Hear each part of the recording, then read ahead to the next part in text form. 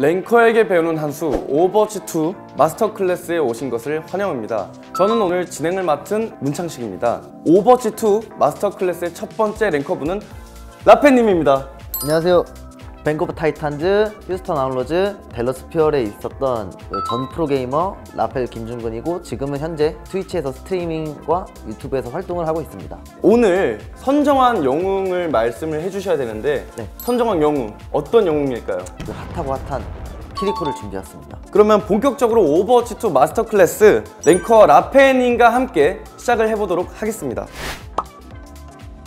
이 키리코 오버워치2 지원 영웅 중에서 어떤 역할을 할 수 있는 영웅인가요? 순보라는 스킬이 있기 때문에 둘 다 케어가 가능한 캐릭터고 맵을 좀 자유분방하게 쓸 수 있는 그런 영웅입니다. 아군의 조합, 영웅이 어떤 영웅이 같이 있을 때 시너지가 제일 좋다. 음, 제가 top3 뽑아보자면 둠피스트. 둠피스트. 네, 왜냐면 둠피스트가 이동기가 되게 좋다 보니까 진짜 자유분방하게 완전 다 쓸 수 있거든요. 두 번째 트레이서. 옆으로 같이 가면서 우리 트레이서 도와주고 자기도 같이 deal을 넣고 뭐 그렇게 하는 플레이 가능하고 그다음 첫 번째 윈스턴. 왜냐면 리그 우승 조합이기 때문에 아, top3의 영웅들이 공통점이 있어요. 그죠. 기동성이 좋다. 그렇죠. 상대편에 이런 영웅이 있을 때 키리코를 기용하면 좋습니다. 라고 뭔가 추천해 주실 만한 상대 영웅이 있을까요? 키리코 자체가 그냥 보편적으로 좋다. 네, 그쵸. 자, 이렇게 말씀하시면은 nerf를 또 당할 수도 있을 텐데. 그러면 실력에 따라 갈려요. 그러면은 이제부터 키리코의 기술들을 직접 보면서 팁을 좀 라펠님에게 들어보는 시간을 갖도록 하겠습니다. 네, 좌클릭 치유의 부적 먼저 살펴보도록 하겠습니다. 키리코 하는 사람들한테 무조건 추천하는 설정이 좌클릭, 우클릭을 바꾸는 거예요. 아 이거 사실 되게 중요하거든요. 그죠. 그리고 저는 좀 미리 날려놓는 편이에요. 한타가 시작하기 전에 아무리 느려도 한타가 시작될 때 이렇게 heal이 차긴 하거든요. 그렇죠. 그래서 이런 습관을 들여놓는 게 좋아요. heal을 미리 날려놓는 거. 제가 이거는 사실 아무한테도 얘기 안 할라 했는데 어 아무한테도 얘기를 안 하려고 했다. 네, 이거는 어. 꿀팁 개방. 그렇죠. 멀어요. 네. 그러면 어떻게 케어를 하느냐? 네, 지금 치명상이에요. 네, 이런 식으로 부적 두 개 날려놓고 숨못하고 이렇게 다섯 개까지. 그럼 총 어. 일곱 개가 들어가거든요. 그럼 순간적으로 heal이 나라라 이렇게 차고, 차서 네. 아군 그 heal 케어가 되게 좋아요. 이런 식으로 해주면. 쿠나이를 잘 맞출 수 있는 방법, 뭐 꿀팁 이런 거 있을까요? 각 캐릭별로 그 키를 알고 있어야 돼요. 왜냐면 트레이서는 분명 여기였잖아요. 그렇죠. 근데 시그마 같은 경우는 여기 있기 때문에 그리고 이렇게 위아래로 이렇게 움직이는 게 아니라, aim이 이 가로로 이 헤드라인으로 해서 이렇게- 쏘면 헤드만 맞거든요. 이게 꿀팁이에요. 이렇게 뭐 이렇게 쏘시는 분들 많거든요. 헤드라인을 맞춰서 이 가로로 움직여라 가로로. 다음 알아볼 기술은 쉬프트 순보입니다. 저는 순보를 어, 어느 상황에 쓰냐면 상대 원숭이는 저희 소전 1순위 타겟팅해서 소전을 문단 말이에요. 그러면 저는 아까 말씀드렸던 거 이렇게 두 개 날려놓고 이렇게 소전을 이렇게 케어하는 편이에요. 저는 우리가 승기를 잡았을 때 우리 원숭이한테 수- 순보 타서 우리 원숭이랑 같이 상대를 다 잡을 때 그럴 수 있을 때 원숭이한테 순보 타고 다음 기술 이 스킬 정화의 방울입니다. 항상 사람들한테 얘기하는데 방울 아끼지 말고 좀 과감하게 쓰는 그게 좋다고 얘기하거든요. 딜러랑 맞다이 있을 때 헤드 한방 맞추고 방울 쓰고 1대1 네 1대1 할 때 방울 쓰고 knockback을 시킨 다음에 한 대 더. 왜냐면 아. knockback 상태에서 moving을 못 치거든요. 여우길로 한타를 잘 여는 방법. 예를 들어서 상대방이 원숭이에요. 한타를 연다고 여우길을 먼저 눌러버리잖아요. 그럼 상대는 점프를 쓰고 그냥 빠질 수가 있어요. 그 흔히 말하는 뻘궁이 되거든요. 그렇죠. 궁 낭비를 안 하기 위해 상대방의 skill을 보고 써라. 그리고 뭐 여우길 쓰고 나서 자기가 뭐 라인하르트라도 되는 거 마냥 막 앞에 나가서 쿠나이 던지는 사람들 많던데 그런 거 하면 안 돼요. 이런 부분 정말 네. 조심하셔야 돼요. 이게 정말 중요합니다. 예, 이 벽타기 뭐가 중요하고 어떻게 활용해야 되는지 상대방 딜러들이 물러 올 때 이렇게 1층에 있다가 2층으로 도망갈 수 있고 뭐 2층 올라갈 데가 없어. 근데 옆에 벽은 있어요. 근데 상대방 딜러가 이렇게 물러왔어. 이렇게 좀 이렇게 싸워주다가 막 이렇게 벽 타면 막 우왕좌왕 하거든요. 랭커에서도 이런 식으로 플레이하면 잘 살아요. 잘 못 맞추더라고요. 어, 생각보다. 랭커에게도 통한다. 네. 라페님이 직접 플레이하신 리플레이를 보면서 마저 설명을 드리도록 하겠습니다. 신규 전장 네, 샴발리 수도원 공격이죠. 난 처음에는 여기서 좀 간만 보다가 저희 둠피스트가 들어가는 거 보고 같이 들어가는 게 좋거든요. 아군 둠피가 이렇게 변수를 잘 내줬어요. 이렇게 변수를 내면서 네, 말씀하세요. 그래서 변수를 내고 이제 둠피가 다시 skill cool이 돌면 같이 이렇게 둠피 따라와주고 그리고 그래서 치명상 보이자마자 바로 방울 던져주고요. 이제 안전하게 아군의 그 체력을 먼저 확보를 해준다. 이게 조금 핵심인 것 같아요. 그렇죠. 그래서 계속 둠피가 이렇게 템포 잡아주고 있죠. 그래서 저는 이렇게 둠피 heal 주면서 같이 나중에 확실할 때 따라가주고. 어, 방금도 이제 상대방이 증폭 매트릭스를 사용하니까 안전하게 정화의 방울을 미리 깔아주신 모습인가요? 그렇죠. 뭐 물론 안 맞긴 했는데 이런 버릇이 있는 게 좋아요. 그리고 둠피한테 타다 타기보다는 오른쪽에 있는 그 소전 소전한테 타서 이쪽 kill각 deal각 이렇게 활용하는 거죠. 그렇죠. 뭔가 사이드로 넓게 deal각과 heal각을 확보를 해놓는 거죠. 그렇죠. 그러면 저희 소전도 케어할 수 있고 heal도 다 줄 수 있고 일단은 뭐 2거점을 밀고 이후에 화물을 좀 미는 타이밍. 어 지금도 이 장면 설명 한번 해주세요. 보이드 형이 이제 나 여기 오른쪽에 있으니까 한번 들어가겠다 그 소리를 듣고 본대는 소전이랑 아나가 있으니까 내가 있을 필요는 없다 판단을 해서 둠피 쪽에 좀 더 힘을 실었죠 이런 식으로 순간적으로 힐각과 딜각을 만들어낸 거죠. 순서를 통해서.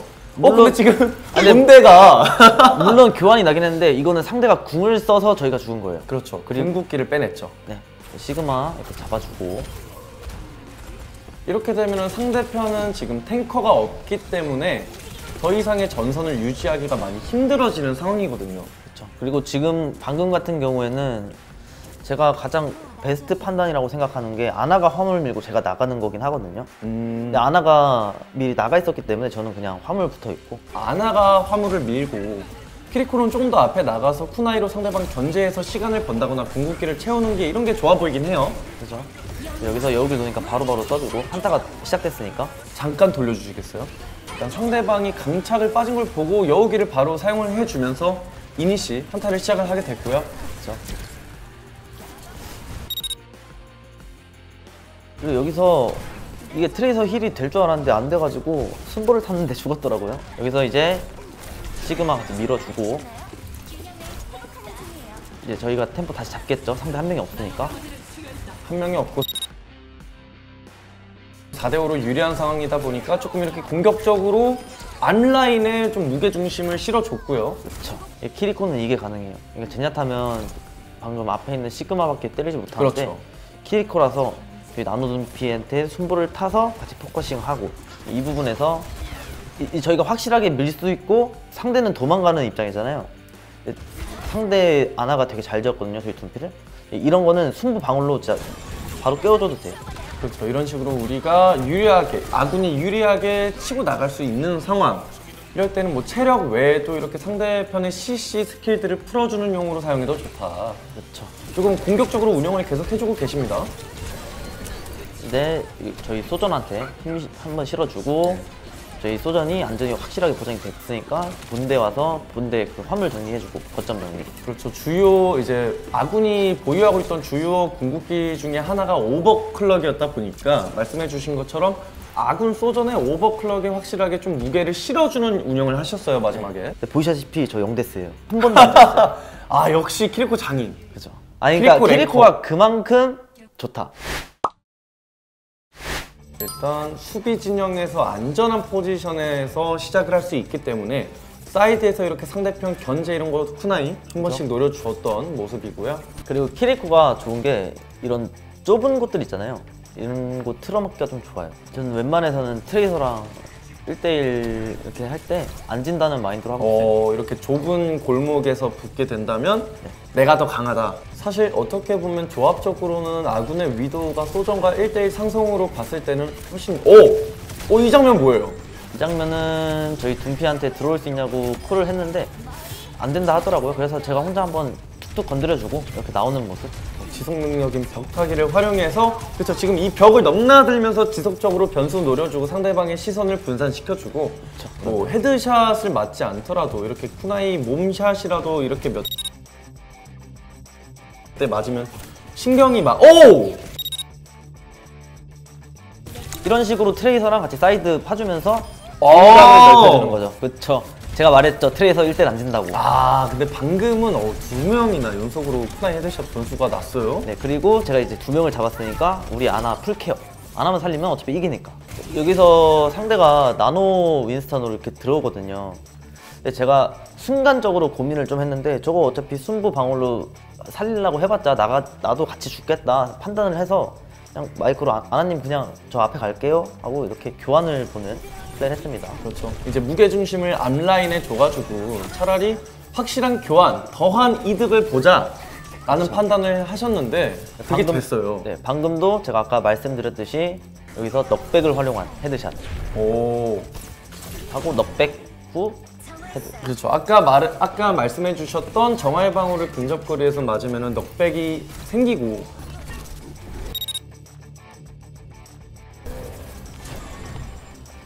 어, 이거는 방금 원시의 분노에 밀리지 않기 위해서 정화의 방울을 미리 안전하게 깔아두신 거죠. 사전에 차단한다는 말이 이 말이에요. 그렇죠. 그리고 원숭이 궁 없고 점프에 빠진 거 봤으니까 여기 깔고 방벽까지 빠졌기 때문에 바로 사용을 해주면서 한타를 열었지만은 이거는 상대 소전이 잘한 거예요. 이거는 사고죠, 사실. 사고. 예.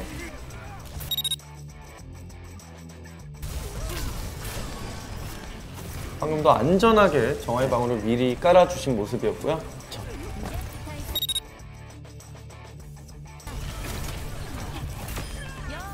순보 타고 헤드도 가능해요. 어, 방금 순보 장면 한번 설명을 해주시겠어요? 둠피한테 타는 게 아니라 이 옆에 있는 트레이서한테 타서 같이 focusing 해줬죠. 그 소전을. 트레이서와 함께 사이드 focusing을 강하게 노려줬다. 그렇죠. 여기서 이제 헤드. 어우. 그리고 이제 트레이서가 저 물러 오잖아요.